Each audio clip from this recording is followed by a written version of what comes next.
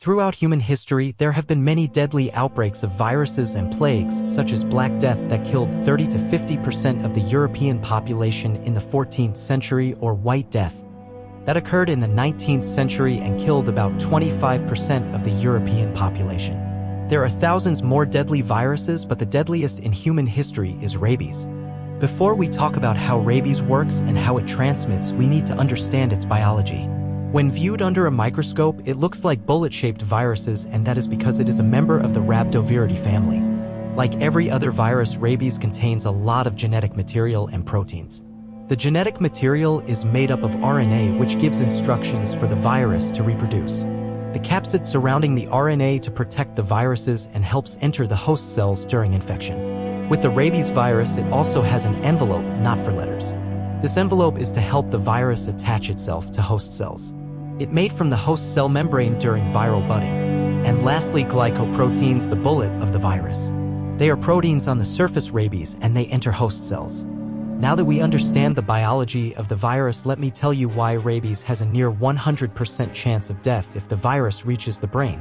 We are going over the virus pathophysiology. Rabies is spread through a bite from a carrier. If their bite penetrates the skin and their saliva enters the muscle, you've been infected. The most prevalent wildlife carriers are raccoons, skunks, bats, and foxes. Domestic animals carriers include cats, cows, and dogs. Dogs are the most prevalent carriers, so exercise caution, whether wild or domestic.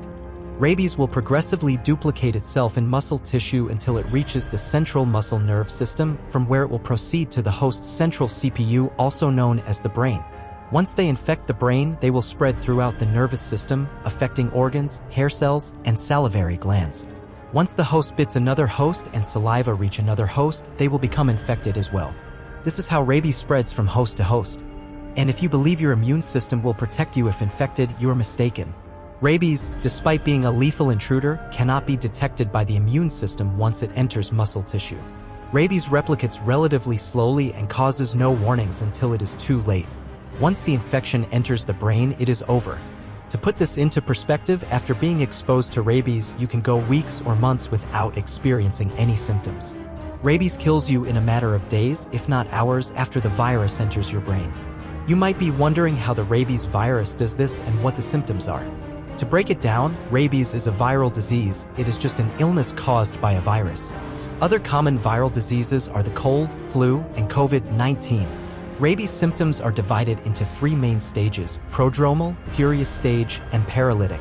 The prodromal stages normally last between one and three days. The symptoms are flu-like, with fever, headache, fatigue, and pain at the bite site. Itching and pain around the bite site are also symptoms. For animals, they will exhibit only vague, nonspecific signals that intensify fast in the furious stage. The furious stage can last several days, a week, or even longer. This stage's symptoms include hyperactivity, excitation, hallucinations, hydrophobia, fear of water, aerophobia, fear of the air, and, on rare occasions, aggressive conduct. Patients may have convulsions, swallowing difficulties, and swallowing muscle spasms. For animal, it's a lot worse. The animal will exhibit violent behavior, which we refer to as mad dog syndrome, but it can also afflict other animals.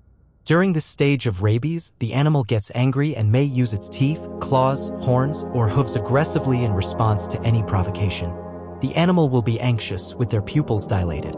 Noise may result in an assault. The animals will get past their fear of humans and other animals and attack. The paralytic stage is the final form of rabies and it's game over for afflicted souls. Once this stage is reached, the infected has a 99% chance of death. This stage usually follows the furious stage, Symptoms of this stage include weakness, paralysis, and a loss of coordination. The paralysis spreads quickly throughout the body, causing unconsciousness and death within a few hours. Animals will have the similar results, but with throat and masseter muscle paralysis, profuse salivation, and trouble swallowing. Dogs frequently drop their lower jaw in this stage. Up to 50,000 to 70,000 people die from rabies annually worldwide, with 99% of deaths occurring. In Africa, India, and South Asia, dogs account for the majority of rabies incidents. North America, Russia, and North Asia are the main locations for wildlife cases. Know that we understand how dangerous rabies is if left alone. We need to understand the history of early humans trying to counter rabies and what happened. To start off, rabies is one of the oldest known diseases with cases dating back over 4,000 years. To put this in perspective, this virus was around when the Egyptian pyramids was being built around 2580 BCE during the Old Kingdom period. Rabies vastly predates modern medicine for centuries. Like many subjects that humans don't understand, they made wild theories and methods to desperately avoid this horrifying virus. For generations, doctors, witch doctors, and desperate individuals have been trying to find remedies to save those who have been infected. The Greek physician Antaeus thought that a hung man's skull might provide a cure. Physician and naturalist Celsus claimed in the first century that the only way to treat a disease once it manifested itself was to throw the patient into a pond and have them drink water from it. Not surprisingly, this was an attempt to treat the hydrophobia caused by rabies, but it didn't succeed. Roman physician Dioscorides made a significant contribution to medical research in the year 79 CE. Even though he knew that saliva could spread the rabies virus, he still thought that cauterizing a bite wound would stop the virus from spreading. This was untrue. The virus is located in the muscles themselves, not on the skin's surface. Religion attempted to provide a remedy in the 19th century. A legend about the Christian saint, Saint Hubert used a golden key to drive out an evil spirit and heal a man who had been attacked by rabid dogs. Saint Hubert became the protector of rabies. People started traveling to Saint Hubert's shrine in hopes of being protected from this virus. Regretfully, this miracle was never repeated. However, there remained optimism because Louis Pasteur, a man, would bring about a global transformation. Pasteur created the rabies, cholera, and anthrax vaccines. He discovered the causes of spoiling, how to clean instruments before they do surgery, and imparted a wealth of knowledge about bacteria and illnesses. Saying that he is among the most influential men would not be a stretch given his impact and the millions of lives he saved with vaccines that we continue to use as role models. You may wonder how his team produced the vaccination and how effective it was. Before injecting samples into rabbits and monkeys, they physically collected the saliva and parts of the brains of rabid dogs kept in cages. A team member with a shotgun would be present to kill the dog and any other infected individuals throughout the sample collection process. You must recall how terrifying rabies is.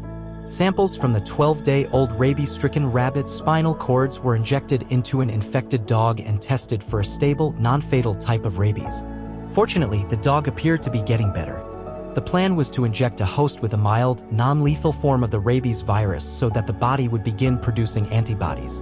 The body would already be aware of what to look for and have antibodies to destroy the virus if the actual rabies infection occurs in the host. Consider it as your fall-time flu vaccination. A nine-year-old kid called Joseph Meister would be attacked by a rabid dog in 1885. Pasteur tried the novel vaccine for the first time on a human host after much persuasion. Joseph survived because, fortunately, rabies has a lengthy incubation period before it kills a person and the vaccinee had time to build up antibodies in his body. Pasteur created a vaccine that could be used to stop the spread of rabies and cure infected host.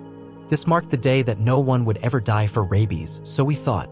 Tragically, having an effective vaccine is never enough without the means to distribute it to the poorest areas or successfully educate others on proper procedures.